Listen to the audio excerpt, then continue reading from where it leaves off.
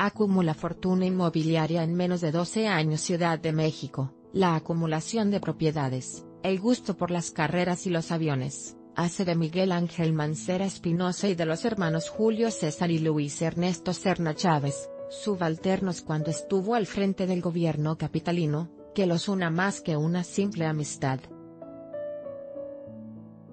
El patrimonio de bienes de los tres exfuncionarios capitalinos fueron adquiridos a desarrolladores inmobiliarios a quienes posteriormente Mancera incorporó a su gabinete. Algunos incluso se convirtieron en sus socios como Simón Neumann Ladenson y Fausto Galván Escobar. El primero fue titular de la Secretaría de Desarrollo Urbano y Vivienda, SEDUVI, en los dos primeros años del gobierno de Mancera y posteriormente fue su asesor. El segundo fue coordinador general de gestión para el crecimiento y desarrollo de la ciudad, de la Secretaría de Economía. El patrimonio inmobiliario de Mancera y Julio César y Luis Ernesto era superior a los 130 millones de pesos, hasta antes de que Mancera Espinosa dejara el gobierno de Ciudad de México, esto sin incluir cuentas bancarias, autos y joyas, según reveló un reportaje de proceso. De acuerdo con la publicación, el ex jefe de gobierno acumuló su fortuna inmobiliaria en menos de 12 años, primero como titular de la Procuraduría General de Justicia, PGJ, y luego como jefe de gobierno.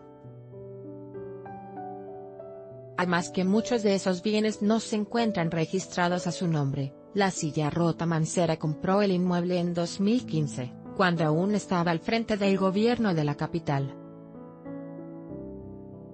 Luis Ernesto respaldó la transacción, incluso la reportó como suya en su declaración 3 de 3 de 2016, señala el reportaje.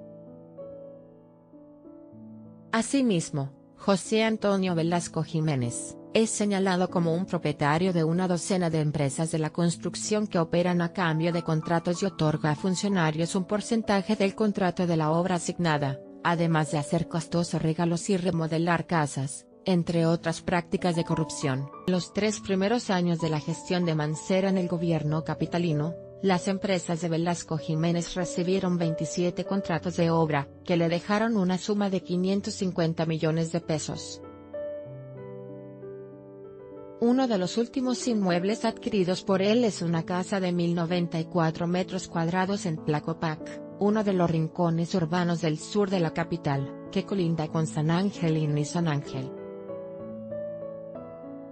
El inmueble se ubica en la calle Benito Juárez 53 bis, aunque la base de datos del registro público de la propiedad la tiene identificada como Benito Juárez número 21, Colonia Campestre, por lo que se deduce que dicho predio fue subdividido. La cuenta predial es la número 05403539000 y aparece a nombre de Luz Becerra viuda de Miranda. El número 53 o 53 bis no aparece en los registros, señala el reportaje de proceso.